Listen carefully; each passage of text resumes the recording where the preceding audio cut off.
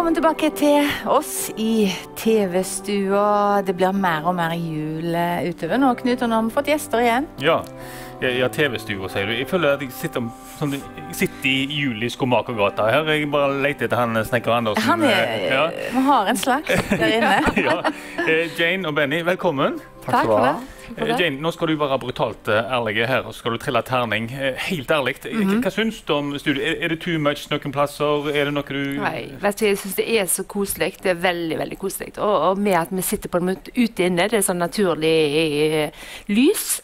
Jeg syns det er veldig kjekt her. jeg. Ja, ja. Dere har fått det fint til. Skal vi si en sterke sterk femmer, da? Ja, det syns jeg. Ja. Ja, Nå har alltid ja. litt å gå på, Karen. Ja, dere har ja da, vi kan strekke oss, Ja. selvfølgelig. Eh, disse to er jo gifte, det vet jo Karen, ikke sant? Det vet jeg. Eh, og de har vært en god del på TV Haugland, eh, begge to. Eh, spesielt hun dere der. Eh, Mhm. Men vi har vel aldri hatt de i lag, har vi det? Jeg tror det er første gangen. Skal vi sjekke? Benny, har du vært med Jane før? Nei, det har jeg ikke. Nei, Hvordan føles det? Eller, jeg tror vi har vært på noe, noen når vi hadde de oppussingsprogrammene. Kanskje litt? Litt, Ja. Da sto jeg iallfall i bakgrunnen. Og Han gjorde jobben, jeg gjorde jobben. Jane eh, tok første, første rekka med tapet.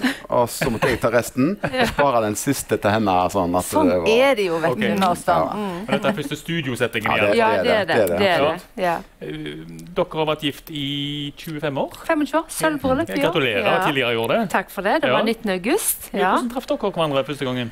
Ja, Vi traff hverandre på Flutten. Ja, som Ja. så mange andre haugesundere. jeg. Ja. Jeg ble lurt trill rundt uh, av han der. der. Ja. Eh, Hvordan da, Benny? Fortell, Benny. Jeg, jeg visste at hun skulle på date med en, eh, en type. Jeg eh, jobbet litt eh, i lokalet ved siden av. Og eh, når jeg så hun kom litt før han, så gikk jeg inn og sa at du skal søren ikke være her. Du får være med meg på naborommet. Jeg sto i baren der og gjemte den godt under disken. Og du kjente han ikke? Nei. Nei, jeg hadde liksom truffet han bitte litt, men jeg kjente han ikke i det hele tatt. Det jeg virker umiddelbart kjekkere ut enn Ja, han, nei, hadde- altså, han hadde en sånn var god line. Det, var liksom, det skulle være sånn filmkveld, og da var det flytt var delt i to. Så var det sånn filmklubb på den ene sida, og så var det liksom vanlig flytt på den andre sida. Og da var det sånn skyvedør mellom, så det var jo stengt, på en måte. Og da, når han sa men alt foregår jo på den sida, du må jo være med der, og der alle du kjenner. Han hadde så mye gode argumenter. Ja. Og jeg var jo litt alene. Jeg var egentlig litt sånn bekymra for han skulle på date med, om det var det jeg Jeg ble litt spent på hvem det var. jeg. Nå har du... Ja. Nei, det vil jeg ikke si. Si det! Jeg husker ikke. Eh, De fleste kjenner deg, Jane, fra interiørvirksomheten din. Eh, driver jo oppe på Raglamyr og sånt. Og, men nå begynner du å bli vel så kjent for krimskramsbutikken din i, i sentrum. Eh, Når var det du åpna nå igjen? Eh, 11. juni. 11. juni. Ja. når jeg går forbi der i gata, det er alltid masse folk der inne. Det, det, Ja. det går bra, tydeligvis. Ja, det er folk hele tida. Jeg får ikke mye tid til å gjøre det jeg tenkte jeg skulle gjøre med å stå der og pusse opp møbler. For jeg, eh, ja, det var det som var tanken. det var litt tanken, Ja. men det har jo forandra seg mye etter jeg åpna. Det er jo noe spesielt med den butikken, for det, jeg tror nesten det lukter godt. Og det er det ikke alltid de gjør i bruktbutikker, unnskyld. Det er ikke alltid det lukter godt heller. Det Er det noen dager jeg syns det Jeg må ta en ekstra gnist. jo, men, men det er jo litt som et museum, så Ja. det er jo mye folk som kikker. Så kanskje en av de handler, men det er jo mange som kikker, så har- det vekker jo så mange gode minner, og det er jo så mye nostalgi, og så mye, og spesielt med jule, med sånn juleting som har vært. Og, så, så, så det er jo en fantastisk kjekk butikk å gå og kikke i, og det er derfor jeg tror folk går og kikker og ser, for det er, liksom, det er lett å komme innom og bare ser. Så, så vi håper jo at, eh, at folk vet at eh, vi må handle òg hvis vi skal klare å overleve. det er viktig. Jeg har jo stort sett vært der inne i TV-sammenheng når vi har Mm. lagd reportasje, Benny. Og det, det første jeg tenker på hva du selger, eller hva jeg så Du hadde borti en krok en gang. Det, det var en trefot etter en reder i, i Haugesund. Ja. Ja. Og da må jeg jo spørre, er du den typiske julegavebutikken? Jeg regner med han går til jul, det gjør jeg. For det er utrolig mange som er borte og ser på han og syns det er litt eh, Jeg må fortelle en historie om den foten. kan jeg det? Vi har Ja. noen veldig gode venner som gir fantastisk gode julepresanger og bursdagspresanger. Og Benny hadde bursdag. Og, og hun tenkte hun skulle egentlig kjøpe en gave til noen andre, sa hun til han. Hun går inn i, Tone går inn i butikken og så sier hun, hva er det mest spesielle du har i butikken. Jeg har denne foten, så drar Benny fram. Og så sier hun ja, men da vil jeg ha den. Kan du pakke den inn? Ja, hvem skal få den? Nei, Terje Frøland skulle få den, for han, han, det var løye, og han kunne henge den oppå. det var skikkelig. Benny pakka den fint inn, stor og sløyfa, og, og, og skikkelig bra. Og så kommer han hjem, og så kommer de på besøk, på bursdagsbesøk med foten til Benny. Gratulerer med dagen! Her har du verdens løgneste presang. Og du har sjøl tatt den ut. Oh, Ja, ja, ja. Alltid, alltid godt å ha et ekstra bein å stå Ja. på, vet du. til den som har alt. Til den som har alt. Altså. Men hva er, det, hva er det kjekkeste du har fått inn, og du bare tenkte wow, dette, altså. Og eh, det er så mye. For jeg, jeg blir eh, veldig oppgira på når jeg får kunst inn. Så syns jeg det er kjekt sjøl. Mm.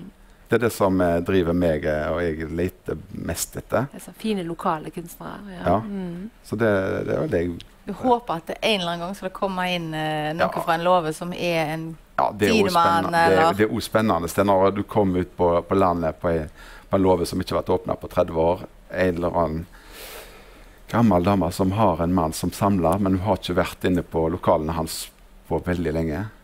Så om jeg er førstemann inn, eller jeg er førstemann inn, det er gøy. Ja. Og hun sier bare 'ta deg løs', for uh, her, her er det mye gøy. Altså. Det er litt Eh, spennende. vi må snakke om siden julaften, så må vi snakke litt om, om, om julepynting. Eh, du husker at jeg var hjemme hos deg for noen måneder tilbake på, når det var halloween. Mhm, mhm. Og uh, Matkanalen hadde brukt, eller lekt Ja, huset ditt for at de ja. skulle lage mm, halloween-mat. holdt jeg på å si. Mhm. Eh, Når vi ser bildene ut forbi der hvordan du har pynta eh, Jeg vet ikke om jeg tør tenke på hvordan det ser nå i julesammenheng, liksom. Eh, Beskriv Du, år har jeg jo slitt veldig, for de begynte jo så tidlig. sant? For det, det er jo litt det der med altså Når det har vært korona, folk har kommet i gang tidligere. Og jeg har jo alltid vært den første i gata som har kommet i gang. Og, og når folk er i gang før desember, på en måte, da- har de jo lurt på om, om jeg har vært friske frisk siden jeg ikke har begynt, at det er før meg. Så jeg, jo da, jeg, det er det. Men det er jo pynta ut forbi. Det er jo det. Jeg elsker jo å pynte. Syns jo det er ja, Så det er mer jul enn det er halloween, Knut. Det er der. Kommer det av um, Denne er ikke oppveksten din, men du, du bodde jo i USA i Mm. 28 år. og det var vel på 80-90-tallet, på det Mhm. mest glorete. Kommer den greia derfra?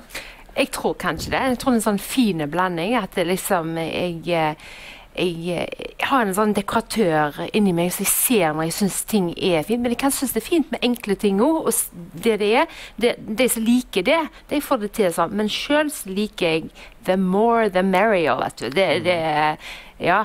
Jeg, det er masse, masse, masse kasser som skal ned fra Ja, loftet. det det. Og Benny liker det òg. Uh, jeg, jeg gleder meg litt til jeg skal bære kassene opp igjen nå. Det, det gjør jeg. Men uh, jeg, det blir ikke jul uten at Jane har gjort det hun kan best uh, i stua. Det gjør det ikke. Nei. Det er både for meg og hele familien. Ja. Dere fortalte meg at dere skulle være hjemme i, um, Ja. i kveld. Eh, maten, hva har dere på bordet? Julematen? Eh, det blir ribbe hos oss nå i kveld, og så i morgen er det pinnekjøtt hos foreldrene mine. Mm. Du kjører begge deler? Ja. Ja, Ja. en av hver. Jeg er jo oppvokst med pinnekjøtt alltid, og så kom du inn og Ødela det med ribba, liksom. det med ribba. Ja. Ja. Jeg, eh, jeg holder meg til pinnekjøtt. Altså. Hva er det du foretrekker? Jeg òg. Pinnekjøtt. Ja. Men så skal vi liksom spise flere dager òg. Så Ja, jeg det er tenker det er nok dager å spise på. Så er det én dag med det, og én dag med pinnekjøtt, én dag med ribbe, én dag med koldtbord. Altså, det vi må ikke spise pinnekjøtt hver dag til jul. Mm, mm. Ja. Når, vi, når vi skal ha, ha jul og hjemme hos oss sjøl, så er det ofte bestemor og bestefar, og det, det er slekt og, og sånn og sånn. Eh, Mm. Der kjører dere en helt annen variant, vanligvis i alle fall. Ja, ja. I år blir det jo litt merkelig, for vi har jo ikke vært på ferie. Og vi har jo ikke truffet noen fremmede folk til å invitere til jul. Ja, Dere bare inviterer hvem som helst dere treffer på veien. Altså, det Ungene og Benny de har ei sånn greie. Når, er, når jeg begynner å snakke med noen eller treffer noen på en ferie, så ligger du ofte ved siden av noen på en strand. eller du, du er en plass du blir ekstra godt kjent med noen. sant? Og så Hvis jeg begynner å snakke med dem, så sier ofte Benny til ungene ja, det er sikkert de som blir med oss til jul i år, sier han. På tull, sant? Det er liksom det. Men så Det er går det jo litt, det går litt troll i år, da. For Ja. det blir jo ikke på tull. Det blir jo det at eh, Så i fjor hadde vi et kjempekoselig par fra, fra England. Hvordan valgte dere Eh, vi traff dem på eh, der vi bodde på Mauritius. Gikk vi forbi de lille hytta der de bodde. Så smilte han så fint ut. Så var det en gang han så så lei seg ut, og så sier jeg åh så, så, eh, Da hadde han fått beskjed at faren hans var død. Og så tenkte jeg åh, han trenger litt trøst. Så satte jeg meg ned, og så, så, så begynte jeg å prate med han, og så ble jeg kjent med han. Og så viste det seg at eh, vi hadde jo masse ting til felles, og, og, eh, og på den turen så gjorde vi jo en del ting sammen, og, og spiste sammen, og, og, og bare hadde det veldig kjekt. Og så sa jeg dere må komme til Norge en gang. Ja, jula, hvordan er det, liksom? Jo, jo, jo, det ville de. Og de kom. Og det var kjempegøy. Var det det året dere glemte å pakke presangene? Nei, det var et annet år. Det var, det var når vi ikke hadde barn. Da var det like kjekt, forsto jeg. Ja, det var kjempegøy. Da hadde vi noen jenter fra New Zealand som ikke skulle reise hjem eh, til New Zealand, for det er så lang tur. Så de, de eh, var egentlig studenter i, i London. Og så fant de ut at det var kjekkere å komme til Norge enn å reise så langt. Og det er dyrt å reise til New Zealand. Og svigerforeldrene mine de, er- dere er jo ikke helt vant med å ha så mange, for dere er mer tradisjonelle norske Ja, vi eh, har den der det er det året, så neste år så er det deg. Ja. Men du sånn. liker det, du òg? Ja, det blir jo blitt det, Julaften ble jo en, en stor fest. Ja, fordi Ja, ja. Når, når du på en måte er, har bodd en plass hvor du ikke har de nærmeste familiene rundt deg, så tar du naboer og, og kjente. De blir på en måte familien din. Så vennene dine de blir de nærmeste. Og, og jeg har masse gode venner, nære venner, som på en måte er familie for meg. Og vi feirer gjerne jul, vi feirer nyttårsaften sammen, men, men jeg har jo veldig kjekke svigerforeldre som også feirer jul med, og, og svigerfamilie. Vi har vi har, jeg og broren min er alene, vi har ikke foreldre lenger, så det er ikke noen gamle med på en måte de eldste. Så da har vi jo plass til noen ekstra. Ja, ja, ja. Og, og, og det året de fra New Zealand var der, da hadde vi onkelen din på gitar, og svigermor og sviger, alle var der. Det var sånn full stue. Jeg tror vi sikkert var 25 stykker. Vi var søskenbarn. Og, og da hadde vi sunget og danset, og alle var liksom litt sånn slitne på en måte. Og så ringte mor mi, eller hun sa nå må jeg nå ringer jeg til drosjebil, for nå må jeg komme meg hjem. Så sier jeg mamma, vi har ikke åpna presangene, du kan ikke gå ennå. Å, herligheten! Jeg ser for meg sånn, Da det gøy. jeg ser for meg sånn engel, engelsk julefilming når de inviterer Ja. rubbel og rake. Men Ja. du er litt samme type nå, Karen? Ja, altså, meg og mannen har jo reist en del på interrail, og når du sitter på tog, så blir du gjerne godt kjent med folk på korte tid. Så um, ett år så traff vi to uh, unge studenter fra Hongkong, og så sier han Kommer du Norge, så bare kom her på besøk. Ja, ja. Ja da, og så kom det en melding da. We are, we want to visit you. Ja da, da var det rett rundt jul på vinteren. Bare kom, da tenkte han å komme hit til sommeren.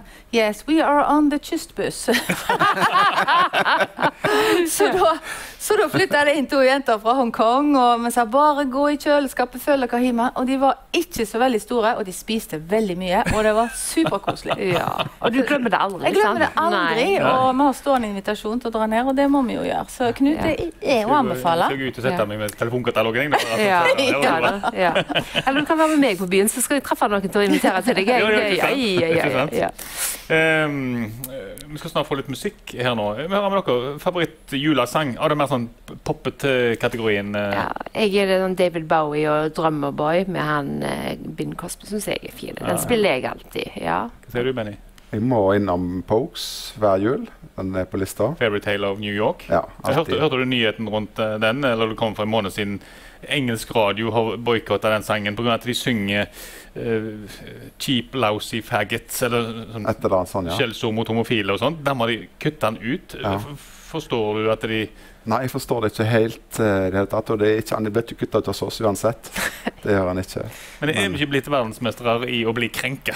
Alle er krenka for tida. Det er så nærtagende at det, med, det må vi virkelig ta oss sammen, alle. For det Det går ikke an. blir med sånn alt liksom. vi kan ikke Vi, vi mister humor, vi mister på en måte en ledd i, i oss sjøl. Så, så det syns jeg er forferdelig trist for tida. At, at alle er så nærtagende. Ja.